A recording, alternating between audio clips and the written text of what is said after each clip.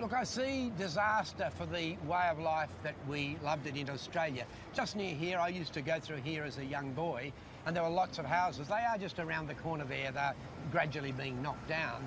But that's where an Aussie family could live the Aussie dream. They could buy a house. You can't do that anymore. You're jammed like a termite in a high rise, or I say battery chooks.